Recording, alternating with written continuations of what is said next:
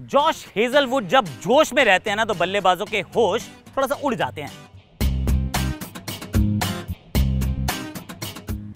चलिए आज जरा एक ऐसे गेंदबाज की बात करते हैं जिससे आ, मुझे लगता है कि आ, मिचेल स्टार्क आपको डराएँगे आपको आउट करेंगे जॉश हेजलवुड इनसे थोड़ा बच के रहना होगा। इनकी बड़ी खासियत कई बड़ी चीज़ें इनके पक्ष में है थोड़ी एक तो मगरा की याद दिलाते हैं। बिल्कुल जब गेंदबाजी करते हैं ना तो एकदम क्रीज ये स्टम्प्स के बिल्कुल पास से करते हैं और स्टम्प्स के पास से गेंदबाजी करने का क्या फ़ायदा रहता है? और अगर आप हाई आर्म से करें तो फिर जो एंगल्स हैं, वो एंगल्स नहीं मिलते खेलने के लिए।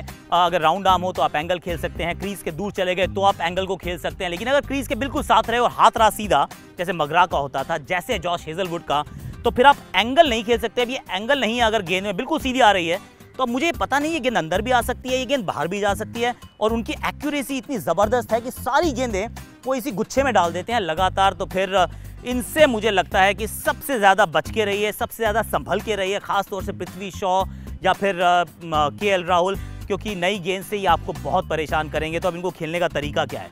थोड़ा सा तो आपको भागे का साथ भी चाहिए रहेगा, लेकिन एक बात ध्यान रखें कि आगे के लिए तैयार रहें, क्योंकि ज़्यादातर गेंदें आगे होंगी। इनका आउट करने का सबसे अच्छा तरीका है कि ये स्लिप कॉर्डन में आपको आउट करेंगे, भारी किनारा ढूंढ रहे हैं। और फिर दूसरी बात ये कि फिर शरीर के बिल्कुल पास खेलिए।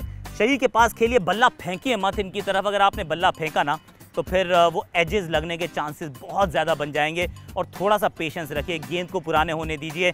जस्ट वेदर द स्टॉम जब सामने जॉश हेजलवुड होना तो फिर बहुत ज़्यादा पैंतरे आपके चलते नहीं हैं। आपको थोड़ा पेशेंस रखना पड़ता है, धैर्य के साथ खेलना पड़ता है। तो वो रणनीति के साथ गेम प्लान के साथ उतरना होगा। भारतीय ओपनर्स को।